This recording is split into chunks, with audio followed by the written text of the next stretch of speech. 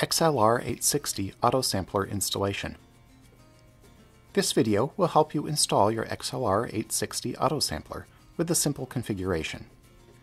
This video uses a common version of the XLR860 Auto Sampler. Your auto sampler may have minor differences from what is shown.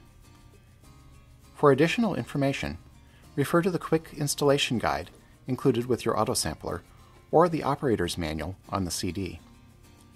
Before you begin, familiarize yourself with the parts of the autosampler.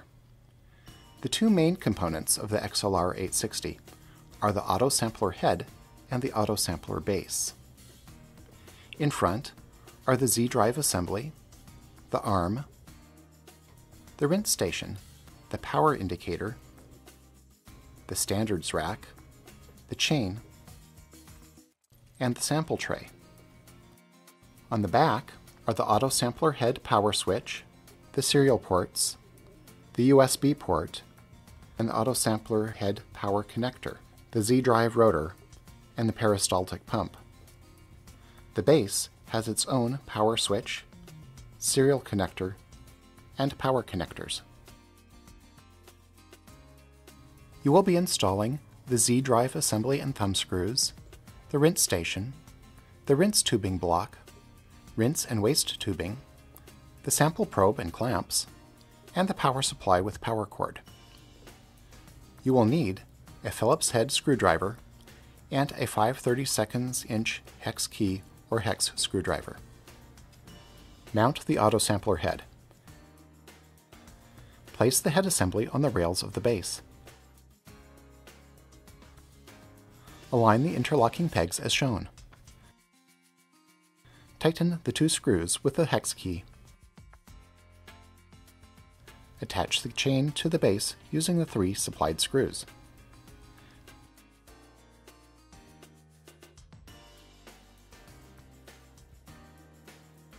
Mount the Z-drive.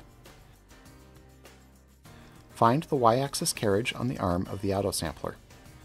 Slide the Z-drive onto the arm until the two holes align with the matching holes in the Y-axis carriage. Secure the Z-drive to the carriage using two thumb screws. Tighten the thumb screws using your fingers. Connect the Z-drive cable. Feed the cable through the rear guide block and around the rotor.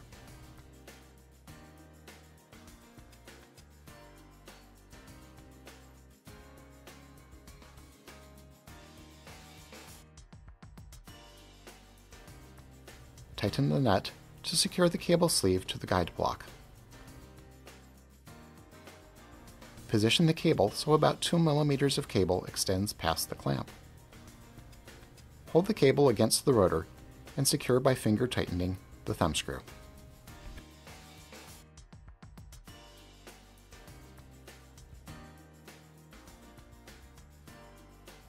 Connect the rinse station.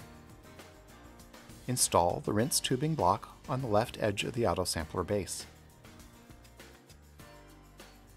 Press the rinse station into the mounting bracket. Locate the rinse source tubing and drain tubing.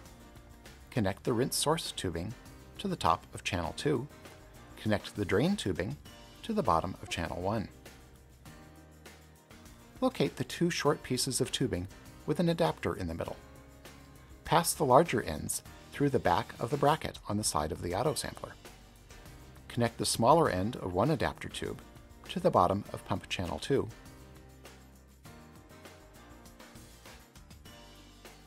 Connect the smaller end of the second adapter tube to the top of pump channel 1.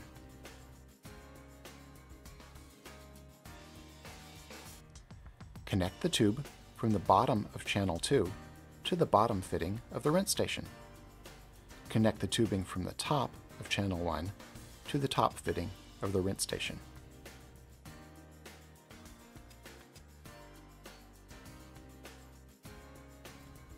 Install the sample probe.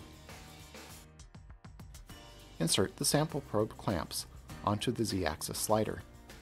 You may need to loosen the nuts on the clamps before installing the probe. Guide the probe straight down through the Z-axis slider until the tip of the probe is level with the bottom of the Z-drive.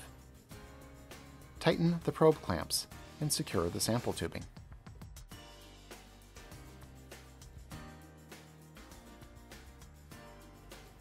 Power and communications. Check that both power switches are turned off. Connect the two serial cables located in the chain to the auto sampler head.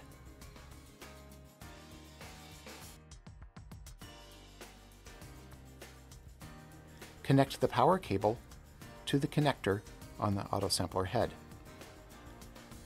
Connect the COM1 serial cable from the chain to the host computer. Connect the COM2 serial cable to the auto sampler base. Connect the 5-pin cable from the chain to the left connector on the base. Connect the 6-pin cable from the power supply to the right connector on the base. Power on the base, then power on the auto sampler head.